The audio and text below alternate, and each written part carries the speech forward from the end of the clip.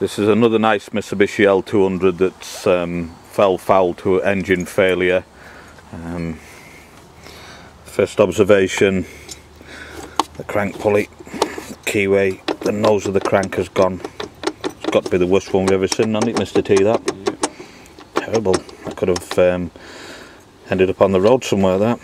And also, Mr T's got a demonstration of the um, loose bearing in the turbo where the shaft is worn get that in there, you give that a good wiggle.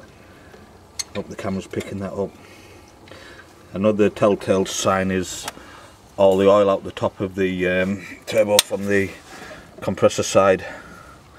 This in turn gets blown out of here under pressure, goes through your intercooler which we've removed and then ultimately ends up inside your engine and it results in something that we call, well we can only describe it as a rev up.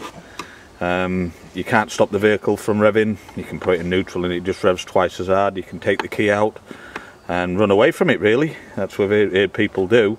And it's just like somebody's put the foot right to the board until the engine blows. So we've sort of like caught this in time.